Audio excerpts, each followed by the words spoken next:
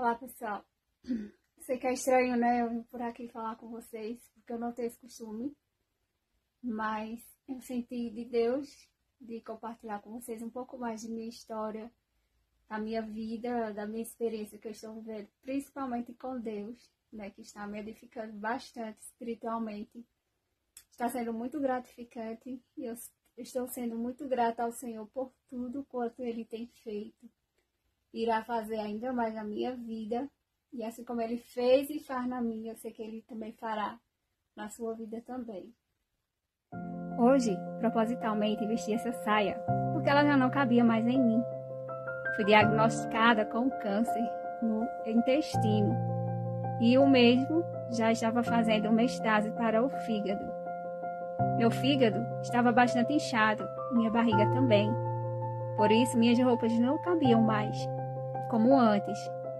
Mas hoje, surpreendentemente, eu vesti a saia e ela entrou em mim. Segundo informações médicas, o meu fígado reduziu o tamanho, provavelmente também o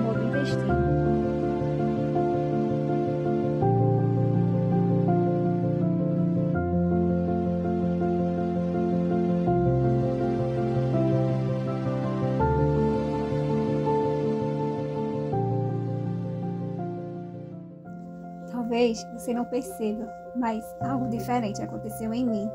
Deus me presenteou com um sonho, o qual eu nunca imaginei realizar. E esse sonho foi justamente algo que mudou totalmente a minha vida, principalmente agora que eu estou passando por esse processo de estar sem os meus cabelos. Deus me deu um presente que foi a modelação das minhas orelhas, o qual eu sempre sofri bullying quando eu era criança. Né? As pessoas falavam para mim: Você é linda, mas o que te mata é tua orelha me chamavam de orelha de abano, enfim. Eu trouxe comigo esse trauma e eu não conseguia me livrar dele. Por isso eu sempre usava meus cabelos soltos, mas agora nem cabelo eu tenho mais para soltar. Mas eu estou curada desse trauma para a honra e glória do nome do Senhor Jesus. E tudo isso eu devo honras e glórias a Ele, pois na presença dele eu fiquei durante 15 dias e Ele me curou. バス。